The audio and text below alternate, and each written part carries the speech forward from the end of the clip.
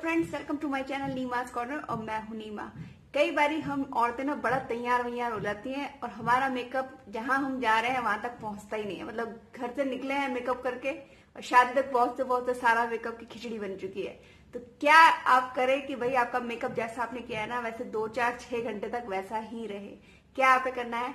आपने एक चीज़ का यूज़ करना है, वो होता है मेकअप सेटिंग स्प्रे किसी भी कंपनी का ले लो, मैं जो यूज़ करती हूँ, वो ये है ये है मिस रोज का मेकअप सेटिंग स्प्रे आज मैं आपसे बात करने वाली हूँ, क्यों ज़रूरी है, कैसे अप्लाई करना है इसे आपने और कैसे आप इससे अपने सारे मेकअप को सेट कर सकते हैं। सबसे पहले मैं आपको बताती हूँ भाई, क्यों ज़रूरी है। देखिए क्या होता है ना, जब हम मेकअप करते हैं ना, औरतों को पता होगा भाई, हम कितनी लेयर्स लगाते हैं। पहले हम लगाएँगे प्राइमर फिर फाउंडेशन फिर कंसीलर फिर ये, वो अलाना फलाना कम से कम सात आठ लेयर्स हमारे फेस पे बन जाती है। अब क्या है? अब ये जो है ना, ये काम करता है उन सब लेयर्स को मिक्स करने का।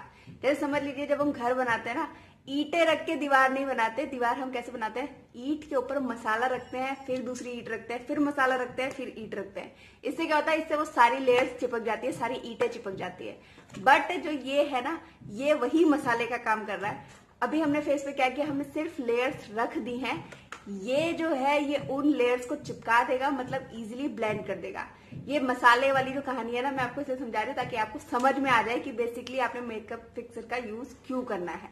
अब मैं बताती हूँ भाई कैसे यूज़ करना है। ये अब मैं आपको स्प्रे करके दिखाती हूँ।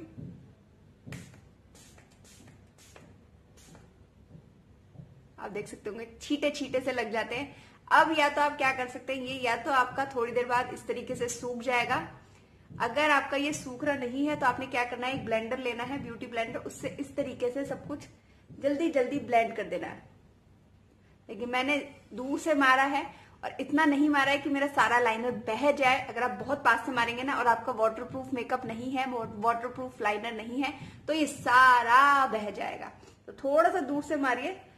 मारने के साथ ही जल्दी से सब कुछ ब्लेंड कर लीजिए इस तरीके से।